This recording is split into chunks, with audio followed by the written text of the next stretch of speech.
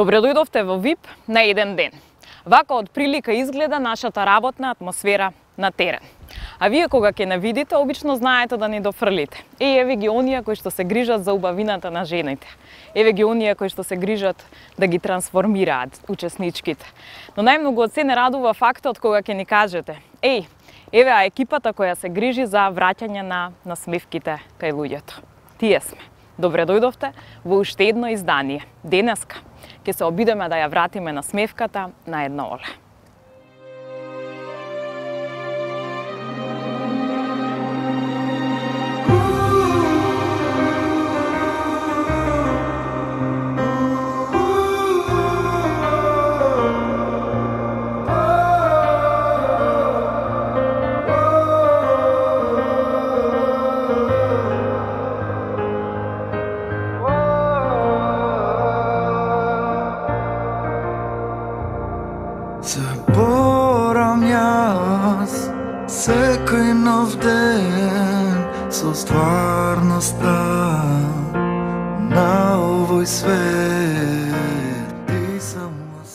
Јас сум Олгица Симеоновска од Скопје.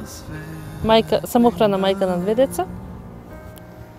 Имам 42 години. Постојам јас за оној час што прашина ке сине од нас Ти само си Не сум во можност да си дозволам за себе ништо. Кирка ми и син ми ме поттикнаа да ви пишам. Мамице, не се ни среќна. Многу се промени. Секогаш си со натажено лице, уморна. Нема веќе кај тебе насмевка.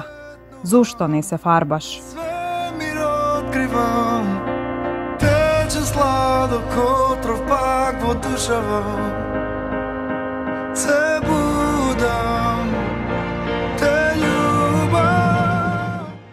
Ова е приказна за една тажна жена. За една девојка без мајчинска поддршка и едно девојче со тажно и несреќно детство. Моето прво сеќавање, па што знам, од 5-6 години, кога веќе моите почнаа да се разлетуваат еден со друг. Значи, раснев со три сестри плюс. Јас колку што се сеќавам, моите родители секогаш се расправаа, се кара. Мислам, не гледав некоја си посебна причина, значи кај нив секогаш имаше некоја причина за дополнителни кавги, и расправи. Тоа траеше 12 години, до моите 12 години, веќе кога се разведоа, мислам, званично и се разведоа. А потоа се мајка ми прво се премажи, а и татко ми во исто време. На само 12 години Олгица се соочила со суровоста на животот, лишена од љубов и поддршка. Јас еден период живеев сама, значи потполно сама. На почетокот не знае од училиштето, одев кај тетка ми, кај баба ми, а потоа кога дознае од училиште, значи ми помагаа сите другарчиња што ми беа во школата. Значи од самата учителка, директорот, че тоа траеше 3-4 месеци така. Додека не дојде од социјално и на мајка ми им пренесоа дека мора да бидам со незе како што е во договорот нели од суд. Мислам според решението. Понатамошниот тек на приказната носи искази кои се тешки за слушање, а Олгица и ги слушнала и ги преживувала. Мајка ми кажа дека сака едноставно да си го живее својот живот. Значи доволно им било тоа што немала убав живот со татко ми, сака малку да биде сама на некој начин душичке.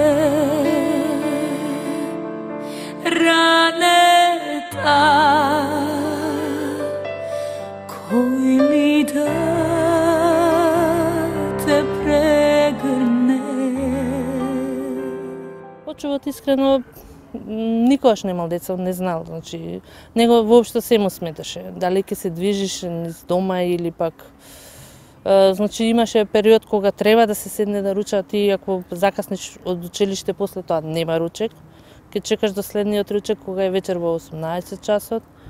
Знаеше често пати многу повеќе да пијат колку што треба. Че од мајка ми беше постар 35 години. И така се одлучив на тој чекор, јас на 15 години беше или како што он налагаше, нели, да, доволно се веќе голема, може да се мажиш, да не ни сметаш, или да идеш во дом. Олгица имала само 15 години, кога донела голема одлука. И јас одлучив на тој чекор преку мојата другарка да се преселам кај низината сестра. Они ми помогнаа да работам, да почнам да работам. И така, првата година така беше, потоа се земав под кирија соба и почнав значи во животот сам. Што работиш? Се што ќе најдев. Значи прво работев во сендвичара, работев и кај нив има, пошто живеа во Кавадарци, нели, на лози им помагав, се. Инстинктот за преживување ја натерал Олгица пред време да порасне. И додека другите тинејџери својот живот го минувале во школските клупи и детските игри, Олгица одела по трнлив пат. Значи не завршив основно, основно завршив ванредно, потоа осмо го завршив и не се школува воопшто, бидејќи нема фусло, значи цело време константно работев. Животот и продолжил меѓу работата и знаимената соба, без комуникација со мајка и, се до 94 година, кога повторно стапиле во контакт. Очевот почина 94 година. Да. Значи, кога почина очевот, она остана сама, не можеше да го погреба очевот, пошто имаше некои си проблеми, не знам, таму нерешени меѓу нив. Сепак испаднав јас во пресред, им помогнав за да го погреба очевот. И од тогаш почнавме повторно да комуницираме, но сепак јас никогаш не почувствував мајчина љубов, бидејќи она никогаш не се понашаше така како прав родител како мајка, но сепак не можев. Јас сум таков карактер, значи им простив на некој начин. И така почнавме да комуницираме 94 Значи потоа константно, нели се гледавме, па знаеше периоди да да не сака да те види. Со неколку месеци нема да се јави, само кога ќе им треба ќе те побара. Тогаш повторно се случува присврт во животот на Оле, кога и дефинитивно престанува да комуницира со мајка и и ја затвора таа врата но пресудно беше 2005 година кога ја повредив ногата. Значи тогаш почна сите проблеми. Чи јас додека бев во болница, она не дојде ниту еден единствен ден. Значи на сите други помагаше, можеше, потоа се дојдов од болница дома исто.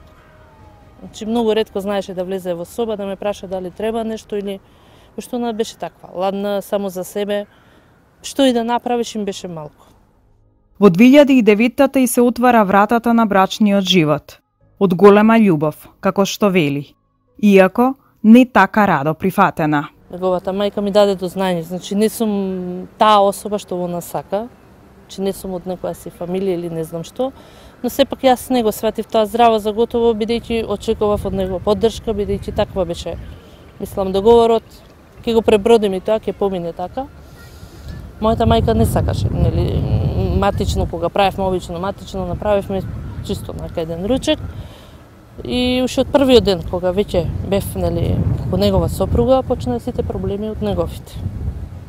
Значи, секој ден се нешто не е во ред, не е добро. А, пошто живеев тогаш, си уште мислам, куќето беше во Пинтија со мајка ми. Еден период решивме да се вратиме во Пинтија да живееме, да нема кавги расправи, пошто сепак таму јас доста вложив во таа куќа. Имавме наша соба, јас работев тогаш. Почнавме таму да живееме и почнаа уште поголеми проблеми, кога јас дознав дека сум бремена со седми. Значи, тогаш они го искористија правото, па од каде си ти сигурен дека тоа е твое дете? Значи, тоа беше уште од првиот ден кога дознаа дека сум бремена. И тука, за жал, се повторува судбината. Иако како дете ги слушала кавгите на незините, сега самата била дел од тие кавги и недоразбирања, иако се обидувале да најдат решение. До нова година, значи 2009 беше повуци потегни така да се каже мали ситни кавги, али така да се каже константно. Значи за нова година за мене пошто работеше такси, рече ќе возел. Но не да вози, он значи бил во Маджари, кај неговите Јас дознав од, нели, од мои пријатели, го замолив зашто тоа го прави. Значи, јас не му бранам, но сепак не сакам да крие од мене. И тогаш настана поголема кавга и за ништо, буквално прв пат крена на мене рака. Иако бев бремена со седми. Баш на ден Божич, Бадник не беше дома, се замина кај неговите. Божич дојде си ги собра стварите и се замина кај неговите. Значи, од тој период не го интересираше дека, нели, за син ми дека ми треба поддршка негова. Мајка ми во тој период беше малку кај сестра ми. Тогаш на Оле и се отворила нова вистина. Немав многу контакт, бидејќи од на мајка ми страна слушав само лоши работи. Многу касно дознав за него после 15 години дека не била таа приказната што била, значи таман се зближивме малку време, кога дозна дека сум бремена, премногу, значи сакаше да, да му се исполни таа желба дека како најмало дете, јас него, мислам, од првиот брак, без да знае. Значи, без да знае, констатираш, еве, ќе биде машко, ќе се вика Филип, значи, тоа беше неговата желба. Е, Макејата, неговата втора сопруга, што имаше прекрасен брак со незе, беше почината неколку години. Носеше црно и прв пат тогаш кога дозна дека сум бремена, ја соблече кошулата и рече црно веќе нема да носам. Сакаше да направи се, но а, февруар месец 2010 почина да излетне мозок, значи не дочека. Не ни знаев дека носам машко дете. За жал, до знаената вистина, Олгица немала време да ја ужива. Следувал тежок период. Кога куќата се продаде во пентија, јас татко ми го изгуби во меѓувреме, значи поранешниот сопруг си беше кај, кај мајка му, бев потполно сам. Значи се снајдов за Кирија. Се уште не бев поредена, значи се уште не бев поредена, тоа беше март-април месец. Тоаш дојде втората покана за на суд, бидејќи на првото рочеште кога отидовме, веќе се познаве дека сум бремена и судиката го праша а што е со детево. Он рече не сум сигурен дека е мој не сакам да го признам како моје. Она рече тоа не е во ред. Значи вие сте во брак, сте биле во брак тој период. Ќе си повараш ДНК, ќе направиме, не е проблем. А, пред да идеме на второто рочиште, ден пред тоа он дојде кај мене, што јас имав многу голем проблем со висок притисок. Често пати знаеше до 200 да се качи, значи од стрес, од нервоза. Често пати завршував на нефрологија, пошто не можеше на друго место. И баш он тогаш кога дојде, јас беше викната брза помош да одам во нефрологија, а ме, ме однесоа на гинекологија прво нели да направат ехо и тие работи, го замолија и он да влезе. Не знам дали инстинктот му проработе, повара прошка од мене. А, значи, ајде као, неме, ќе пробаме повтор пат, дај да не се разредуваме, сепак, нели, седми да не расне без татко. Така и беше. Значи, се оддалечивме многу подалек од сите. Живеевме еден период во Катлановско блаце, Сомалија, таму ми се роди Сидми. Но он не издржа, сепак цело време константно кај неговите, па не знам, ме разубедија на некој начин за да се вратиме назад. И тоаш почнуваат уште поголемите проблеми. Останав со керка ми. Без да знам, веќе кога дознав бев трети месец, е и веќе бев 36 година, беше малце ризики, ако абортирам, нели, повеќе нема. И решив да ја родам и керка. Значи, од кога се роди керка ми веќе беше неподносливо. Сепак истата песна, она не е негово, не е негово, со него е, нон-стоп проблеми. Па кав ги имаше и два-три пати насилство. И веќе 2013 беше неподносливо. Значи цела 2013 до некаде ноември месец беше неподносливо. Кав ги расправи секојдневни. Јас често пати завршував со висок притисок по болници. И тогаш одлучува да си замине, ама бидејќи немала каде, била во шилтер центарот три месеци, за да подоцна побара решение. Значи немав моментално стан. Немав сигурна некоја работа. Поварав, значи, децата да, да ни дозволат бар уште два месеци да станеме, децава да ги дадам во градинка и да почнам да работам. Значи, да заработам да некоја пара и да најдеме стан.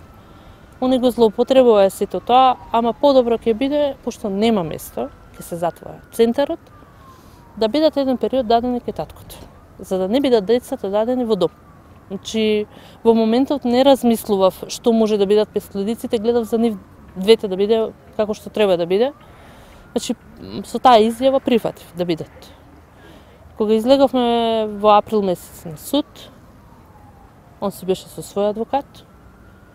А, значи, ме условуваа со тоа што кое дете сакам да го одберам.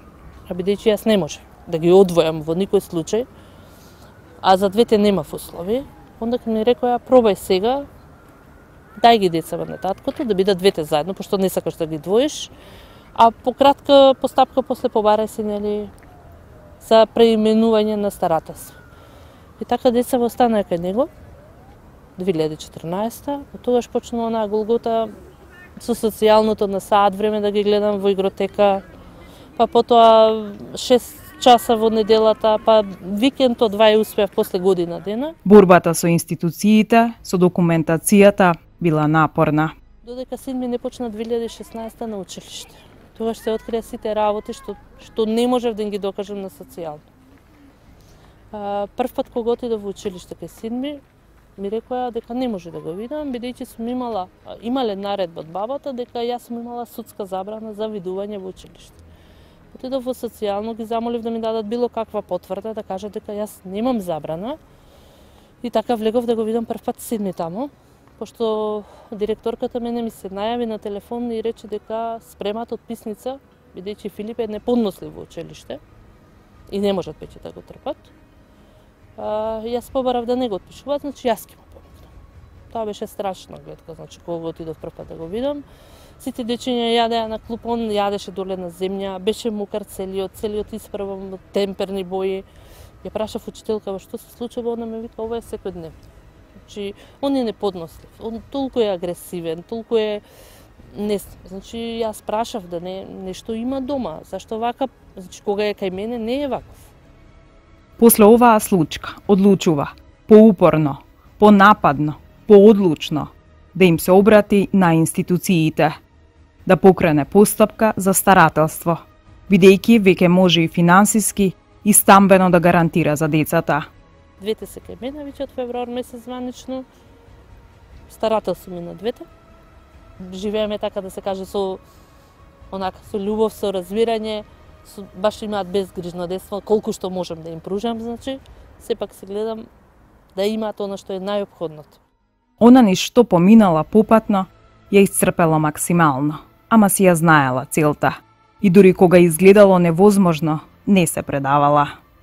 Не сме, едноставно овие две години премногу ми исцрпи. Значи, неправдата, болката моите деца што ја има за безпотреба, така да се каже. Значи, јас буквално се затворив како во еден кафес. Значи, гледав што можам повеќе да ги заштитам, не си обрнав, искрено, не се обрнав внимание воопшто на себе. Значи, константно ми беше тоа, дали ќе успееме, дали ќе успееме, дали можем да успеем, пошто бев нападнат од сите страни и бев јас таа кривата, не некој друг, додека не се докаже, да се покаже се, али се надевам наскоро ќе се вратам. Сега Олгица вели дека полека плановите се остваруваат. Сега првата цел ни се оствари, значи, да бидеме сите тројца заедно. Втората цел што ми беше во животот да најдам особа што пред се ќе ме цени, ќе ме сака таква каква што сум, без да гледа она позади или напред во иднина, него во моментот тоа што сме, значи ја имам веќе таа особа, се надевам дека наскоро ќе се видиме и ќе бидеме повторно заедно и ќе останеме заедно. Значи тоа ни е планот, нешто ако успееме да ги тргнеме и децава и малку што викаат да им пружам малку повеќе од тука што може. Ја прашавме, зашто е крива и дали нешто би направила поинаку. Единствена цел тоа ми е криво затоа што 2010 попуштив на некој начин, а не продолжив сама со синот напред а од друга страна па може би ќе останеше сам нема да имаше сестричка, сепак било што било тоа поминало, нема што назад да се враќа. Значи, целта ни е да напред и за подобро. Денеска Улгица живее со и за своите деца. Работи хумана работа и не се срами од работа. Моментално чуваме на бабичка, пошто тоа и заврши во Хера 2014 А, во меѓувреме и сум хигиеничарка, чистам станови, канцелари, значи гледам да го согласам пред се времето за да имам време повеќе за за деца. Значи кога ќе им требам да бидам до нив. Пошто сум потполно сама, значи нема никој околу мене, морам и да мислам и на тоа. Чи баба ја чувам по два часа, три пати неделно, значи или по потреба ако треба и повеќе. Значи околу пресоблекување, хранење, бањање, се. И на крајот, еве што порачува. Па животот е еден, немаме два. Значи никој не ни го подарил така да се каже. Лесно е да кажеш не можем и да кренеш раци, еве. До тука беше. Сепак животот борба. Сепак е животот борба и има и убави работи во животот. Не е се така црно што викаат. А, најголема сила ми беа моите деца. Бидејќи тоа ми беше целта да бидам мајка и сум мајка и не сакам да бидам како некоја мајка, не ја потенцирам и мојата, но сепак треба да се издржи. Децата се сега деца. Сега треба да им се радувам што викаат и било кој. Значи секогаш има некоја причина, некој секој си има некоја причина, ситница некоја што треба да да си зацрта дека тука е поубаво и да оди по таа цел.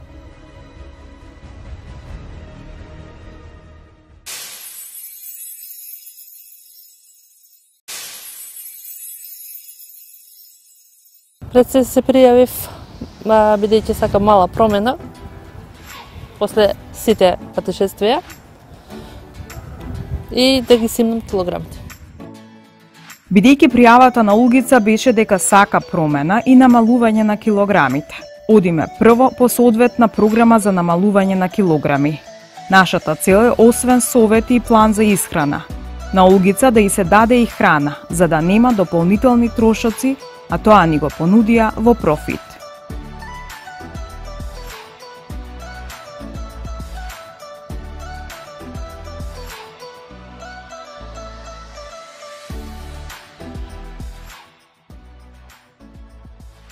Здраво. Здраво. А, мило ми е што се одлучи прво сакам да кажам за здрав начин исхрана, затоа што ќе ти се воведе баланс во животот. А, прво што сакам да те прашам е како си дојде до оваа состојба и што е причината за тоа? А, па јас и од помала имав проблем со килажата, значи, но еден период значи стагнира. Имав до 68-70 килограми, но 2005 година имав мала незгода на ногата, тешка операција и тогаш качев многу, некаде околу 15 килограми. И од тогаш почна на покачување на килажата. Повторно ослабев, но после бременоста со син ми веќе качев уште повеќе. Со керка ми се втората која се породи, веќе не ги симна воопшто килограмите. Значи може 2-3 килограми повторно пак да се качат. Значи константно тука се. Да, па добро, да, исто сакам да ти кажам дека како што идат годините, така и организмот се поспоро си функционира, така да со твоите повреди што си ги имала, не си имала ни физичка активност и тоа само се таложело и си стигнала до овој стадиум. А, се што можам јас да ти понудам се здрави производи, протеински, пред се, протеинот заситува, што и да јадеш ќе те заситува и ќе ти биде вкусно. А, имаме нутриционистичка програма од словенката Тамара Крамер, која што њуми е нејзин производ и можеш да разгледаш да видиш ти што ќе одбереш на каква програма ќе составиш. Можеш да бидеш само на овие производи, бидејќи се без ГМО, без глутен, имаат многу хранливи влакна, тоа све ќе те заситува, ќе имаш здрав организмот, ќе ти биде како детокс варијанта. Така да според мене сметам дека е најдобро да почнеме со оваа варијанта, да имаш и свој оброк. А, Повели слободно, види си. Благодарам. Си имаш план за исхрана, се е тоа направено поминато преку EFSA, тоа е European Food Safety Authority, значи дека се направени медицински и утврдени а, студии каде што можеш да си 8 недели само на оваа храна без медицинска контрола. Така. Чим Европска унија го одобрила тоа, сметам дека реално е здраво и сите клиентки до сега немаат пожалување бидејќи има и колаген во овие производи и жените само може да се така поише светат. Така. Добро. Да пробаме да видиме дали може, дали е вкусно оваа Јас сметам да дека јади, може а? искрено сите што даја, значи чоколади, чипсови, шуи да ти истекне, протеинско јадеш, а грицкаш лабеш. Мислам, Така. све превкусно. А, твој изборот ти што ќе си одбручиш од нели, од добротите, има преку 70 вкусови. Така. Така да си кажеш ти што ти одговара да јадеш, па тоа ќе го одлучиме во твојата програма. Сакаш да ја пробаш и ја направив јас еден шейк. Ова конкретно е од шумско овоше. Значи без ГМО, без глутен, со колаген, засладено со стевија. Се ова еден оброк си го делиме јас и ти. За снеже после. За следниот. Страна. Ајде. Живи. Да, вие за добар почеток. Вкусно ли е? Да. Нели? Но Ако сакаш сега може да влеземе да разгледаш Може, што да. се има од вкусови, па да се одлучиме. Ајде. Земи си го тоа, пи си го друг. Да.